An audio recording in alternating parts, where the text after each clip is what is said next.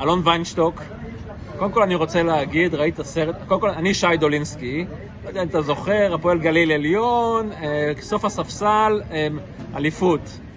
אה, אפילו פעם אחת היה משחק גליל עליון נגד מכבי תל אביב, העלו אותי מהספסל, ניצחנו אותם באיזה 23 הפרש, עליתי לשלושה בשנייה האחרונה, אם אני קולע, ההפסד הכי גדול בהיסטוריה של מכבי תל אביב.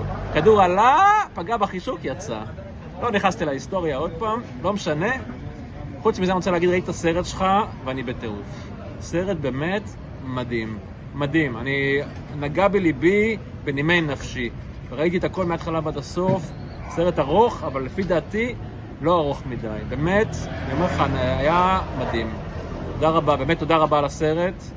אה, וחוץ מזה... אה, חבל שהוא לא איתנו פה. חבל שאתה לא איתנו פה, ב... כן, בתל אביב. נכון, אתה בפריז. הייתי בפריז וגם ברומא, אה, אבל אני בתל אביב היום עד מחר. אה, אבל אולי אם אתה רוצה לגלזגו, אתה תהיה פעם בגלזגו, אתה מוזמן, ופעם הבאה שנהיה בארץ אני מאוד מקווה שנוכל לשבת ולדבר, כי נראה לי באמת אה, שמחה גדולה. תודה רבה.